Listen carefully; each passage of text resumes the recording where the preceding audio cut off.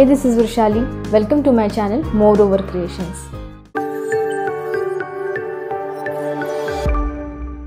इस चैनल पे आपको आर्ट रिलेटेड वीडियोस देखने मिलेंगे अगर आपको मेरी वीडियोस पसंद आते हैं तो इसे लाइक शेयर और सब्सक्राइब ज़रूर करना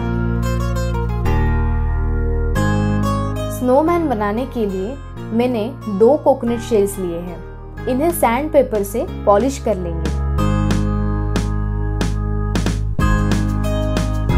यहाँ पे मैंने वाइट एमसिल लिया है। इसके दोनों पार्ट अच्छे से मिक्स कर लेंगे। उसे स्नोमैन का बेस बना के शेल से फिक्स कर लेंगे।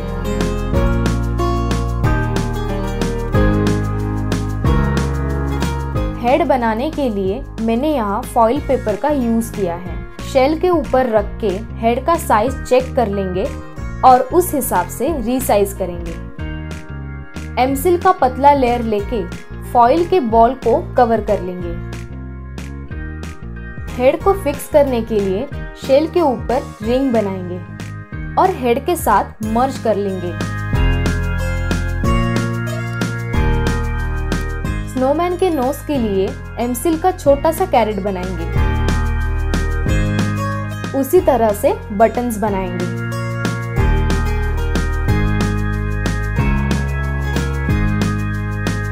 क्ले के पतले रोल बना के ब्रांचेस बनाएँगे। फिर आइस बना के सारे एलिमेंट्स को सूखने के लिए रख देंगे। एलिमेंट सूखने के बाद एक्रेलिक कलर से पेंट कर लेंगे।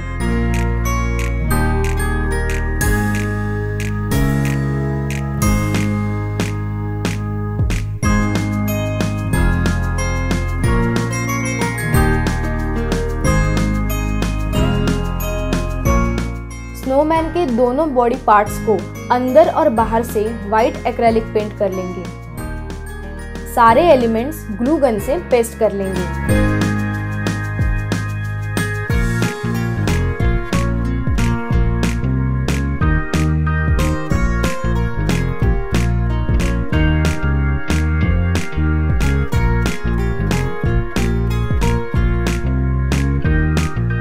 स्नोमैन के कैप के लिए एक वुलन बॉल बनाएँगे। इसका एक सिंपल प्रोसीजर मैं आगे दिखा रही हूँ।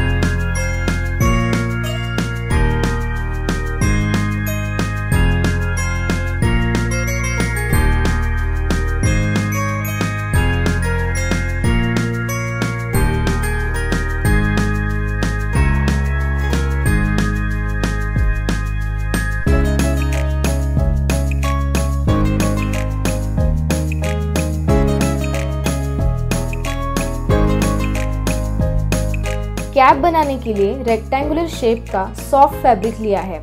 ग्लू गन से इसे इस तरह से पेस्ट कर लेंगे। उसकी एक साइड थ्रेड से क्लोज कर लेंगे। फिर उसे फ्लिप करके वुलन बॉल को पेस्ट कर लेंगे।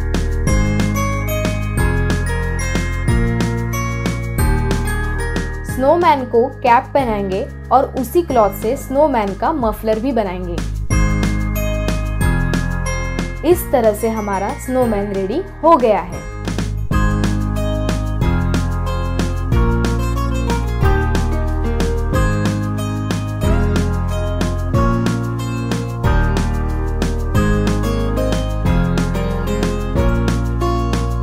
होप आपको ये वीडियो पसंद आया होगा। अगर पसंद आया है तो मुझे कमेंट करके ज़रूर बताइए। मेरे चैनल को सपोर्ट करने के लिए लाइक, शेयर और सब्सक्राइब कीजिए और आगे आने वाली वीडियोस के लिए बेल आइकन दबाइए। तो मिलते हैं अगले वीडियो में। तब तक के लिए bye be creative be happy